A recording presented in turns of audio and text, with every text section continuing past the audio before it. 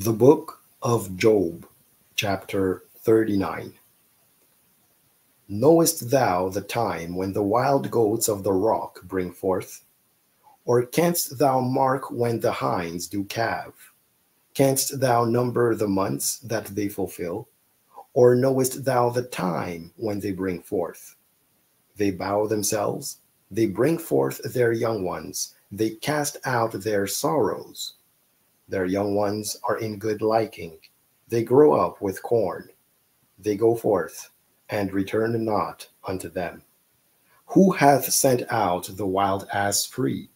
Or who hath loosed the bands of the wild ass?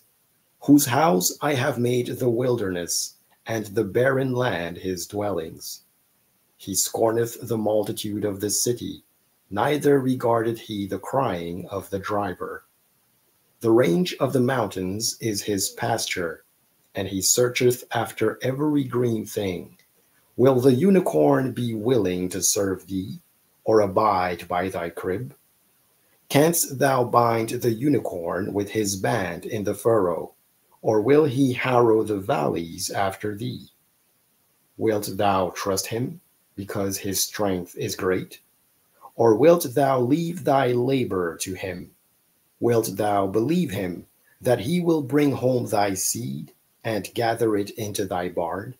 Gavest thou the goodly wings unto the peacocks, or wings and feathers unto the ostrich, which leaveth her eggs in the earth, and warmeth them in dust, and forgetteth that the foot may crush them, or that the wild beast may break them? She is hardened against her young ones as though they were not hers.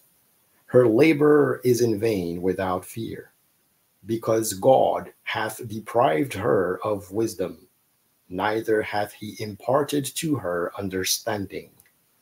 What time she lifted up herself on high, she scorneth the horse and his rider. Hast thou given the horse strength? Hast thou clothed his neck with thunder? Canst thou make him afraid as a grasshopper? The glory of his nostrils is terrible.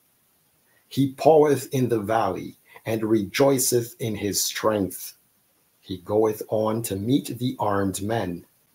He mocketh at fear and is not affrighted, neither turneth he back from the sword.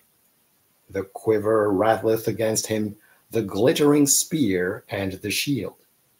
He swalloweth the ground with fierceness and rage. Neither believeth he that it is the sound of the trumpet. He saith among the trumpets, Aha!